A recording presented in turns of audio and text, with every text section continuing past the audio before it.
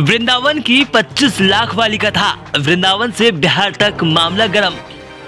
वृंदावन में काना की आस्था का अनोखा मामला सामने आया है, जहाँ काना की कथा कानून की चौखट पर पहुँच गई है। वृंदावन में एक ऐसा मुकदमा दर्ज हुआ है, जिसकी गूंज बिहार तक सुनाई दे रही है।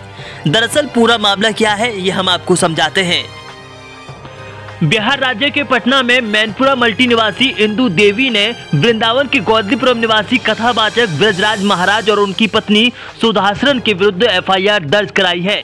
महिला श्रद्धालु ने बताया कि उनके पति सुधासरन ने चिकित्सा विभाग से सेवानिवृत्त होने के बाद एक दिन टीवी पर कथावाचक ब्रजराज की कथा सुनी और प्रभावित हो गए। टीवी पर दिए मोबाइल नंबर पर संपर्क किया और कथावाचक से फ़ोन पर बात भी हुई। महिला श्रद्धालु का आरोप है कि कथावाचक ने वृंदावन वास कराकर कृष्ण भक्ति कराने और मुक्ति के लिए साधना कराने के लिए श्रद्धालु दंपति से 25 लाख रुपए हड़प लिए। कोतवाली प्रभारी आनंद कुमार शाही ने बताया कि एसएसपी के आदेश पर पटना की पीड़ित महिला की तहरीर पर कथावाचक और उनकी पत्नी के खिलाफ मुकदमा दर्ज कर लिया। लेकिन जब इस पूरे मामले में महाराज जी से बात हुई तो पता चला कि कथावाचक महाराज इन आरोपों पर एक बड़ा खुलासा करने वाले हैं। आने वाले दिनों में महाराज इस मामले से पर्दा हटाएँगे।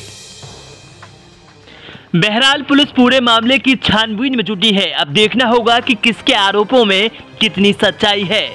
मथुरा से सतपाल सिंह की रिपोर्ट।